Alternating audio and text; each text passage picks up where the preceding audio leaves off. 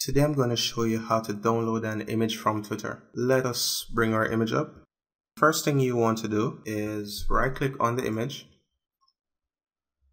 select inspect element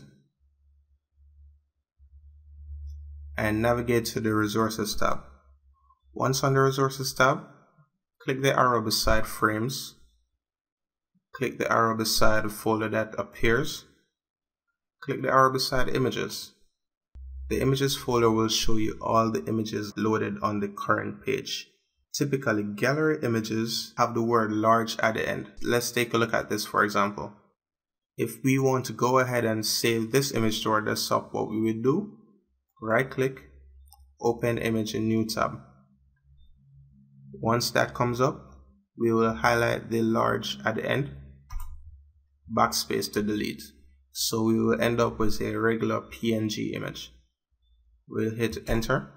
Once this is loaded, we can go ahead and download it like we would any other image. Right click, hit save as, and hit save.